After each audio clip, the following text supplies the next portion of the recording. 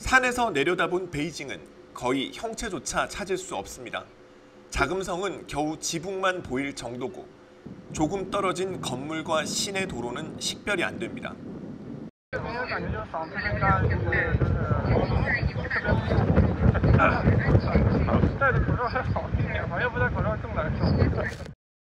오전 10시 현재 베이징의 공기질 수치는 미세먼지 PM10의 농도가 1591로 WHO 권고 기준치의 32배에 육박합니다.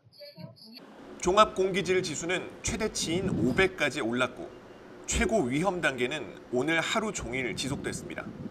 도심의 상황은 더 심각합니다. 누렇게 변한 대기 속 초고층 건물은 간신히 형체만 보입니다.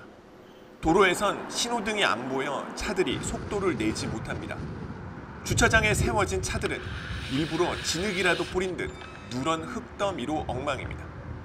感觉的话，反正地铁里面也是一股那个土的味道，影响不是很大，但是确实就是感觉能感觉到啊。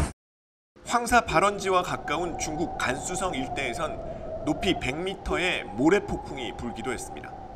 중국 기상국은 베이징을 비롯해 북동부 지역 15개 성에 황사, 황색 경보를 발령했습니다. 베이징에서 JTBC 박성훈입니다.